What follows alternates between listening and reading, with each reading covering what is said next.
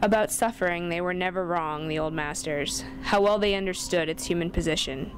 How it takes place while someone else is eating, or opening a window, or just walking dully along.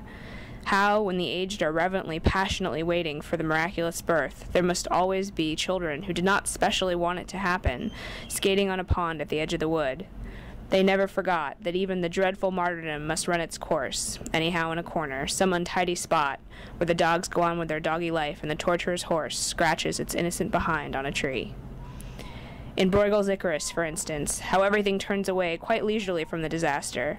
The plowman may have heard the splash, the forsaken cry, but for him it was not an important failure.